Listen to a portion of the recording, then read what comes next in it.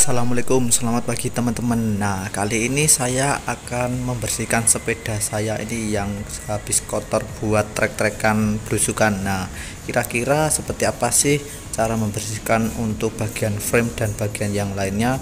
Untuk yang penasaran seperti apa sih cara membersihkannya? Yuk ikuti terus video ini sampai habis Nah beberapa teman-teman saya itu menanyakan gimana sih cara bersihin atau cara nyuci pada sepeda. Nah kalau saya untuk sepeda yang habis kotor saya biasanya keringkan dulu atau saya tunggu. Nah setelah itu saya bersihkan dengan modal kanibo dan air secukupnya. Nah tinggal dibilas aja tinggal dibersihkan. Nah kalau untuk ban tinggal dicopot bannya terus nanti dibersihkan sendiri. Nah untuk bagian crank saya jarang untuk mencuci karena supaya tidak kemasukan air dan biar grease-nya tetap aman. Nah untuk bagian-bagian yang lainnya biasanya saya pakai kain yang lebih enak untuk mengelap. Nah seperti itu sih teman-teman. Nah sebenarnya cukup simpel teman-teman. Tinggal dicuci aja kanebonya saya basah terus di frame ini tinggal digores gini. Nah seperti ini udah kelihatan bersih.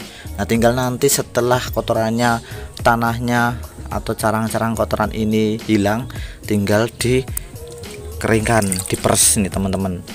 Kalau untuk saya seperti itu. Nah saya tuh jarang bersihin sepeda pakai sabun jadi biar lebih aman saya bersihin pakai kanebo yang dibasahin pakai air aja terus tinggal dilap.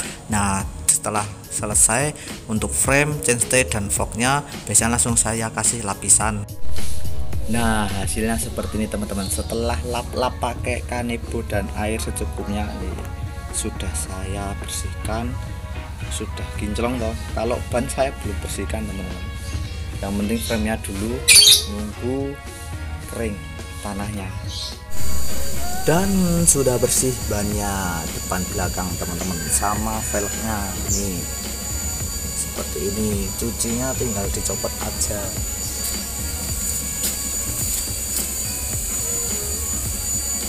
Oke. Semoga bermanfaat.